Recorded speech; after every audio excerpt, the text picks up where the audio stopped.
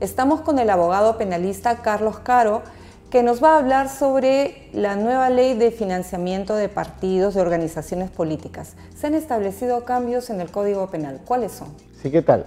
Acá se ha establecido un nuevo delito, que es el delito de financiación indebido o ilegal de partidos y organizaciones políticas, y que sanciona básicamente la práctica de solicitar o recibir dinero o bienes de fuente ilícita, de fuente ilegal o fuente prohibida.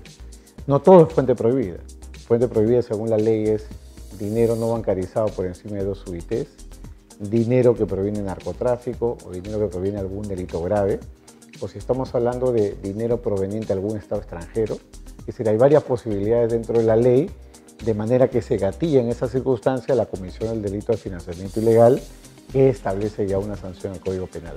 ¿Cuál es la sanción? ¿De dos a seis años, a cuatro? La sanción varía ¿ya? pero el margen de sanción puede llegar hasta los ocho años. Es que el marco de la ley es tan amplio que podría involucrar no solamente a los financistas ilegales y a quienes lo reciben, sino incluso a los líderes de la organización política.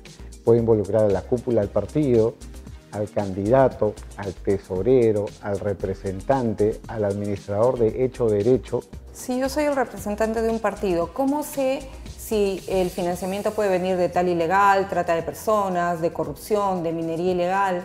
Eso nos abre la puerta para algo que acá en el Perú todavía no existe, que es el compliance electoral o el compliance de partidos políticos, es decir, la utilización de una serie de procedimientos con la finalidad de prevenir o mitigar la introducción de estos dineros de fuente ilegal dentro de lo que es la contabilidad del partido. Entonces, por ejemplo, si yo soy el tesorero y recibo la propuesta de una persona de hacer una donación cuya suma puede llegar a 120 UITs en estos tiempos, lo que tengo que hacer es averiguar quién es esa persona.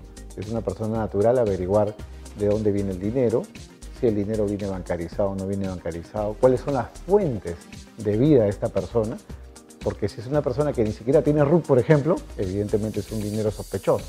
Si es una persona que ejerce actividad empresarial, puede ser dinero de buena fuente. Es decir, tengo que analizar en el caso concreto a través del mismo estándar que utilizan los bancos para conocer a los clientes. Los bancos, para prevenir el lavado de activos, aplican el estándar Conoce a tu cliente. En este caso podríamos decir que el estándar va a llamarse Conoce a tu aportante. Los partidos se tienen que preocupar, tienen el deber de indagar quién es el aportante y de dónde viene el dinero. OMPE finalmente lo que hace es supervisar los fondos partidarios, supervisar los gastos de campaña y otros.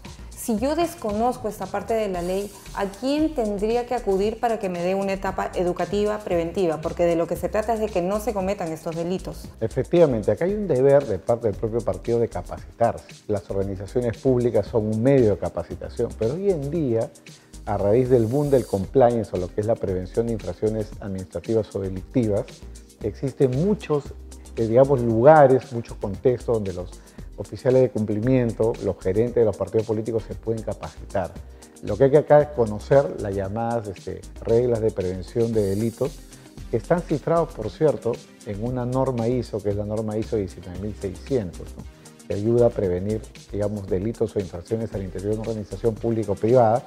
O si estamos hablando de soborno, por ejemplo, o de lavado de activos, hay toda una legislación en materia de UIF y en materia de lo que es prevención, como la ISO 37001 para los casos de corrupción, de manera que hay todo un bagaje, hay una técnica, una serie de procesos que seguir con la finalidad de no eliminar el riesgo, pero por lo menos reducirlo. ¿no?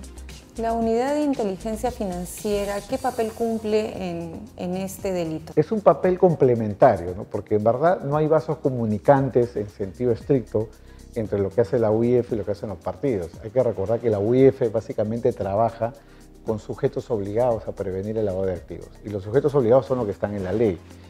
Bancos, financieras, casas de cambio, casas que venden carros, joyerías, etc. ¿no? es el caso de los partidos. Los partidos no están como sujetos obligados a detectar y reportar operaciones sospechosas. De manera que la UIF, como decía hace un momento, juega ahí un rol netamente complementario, es decir, de soporte. Si el partido determina, digamos, o da lugar a que tras una supervisión se establezca que hay una actividad ilícita, la UIF puede conocer de esa información y ordenar, por ejemplo, el congelamiento de fondos del partido o de las personas que estaban en ese entorno y, de ser el caso, emitir un informe de inteligencia financiera a la Fiscalía, como lo ha habido en muchos casos anteriores.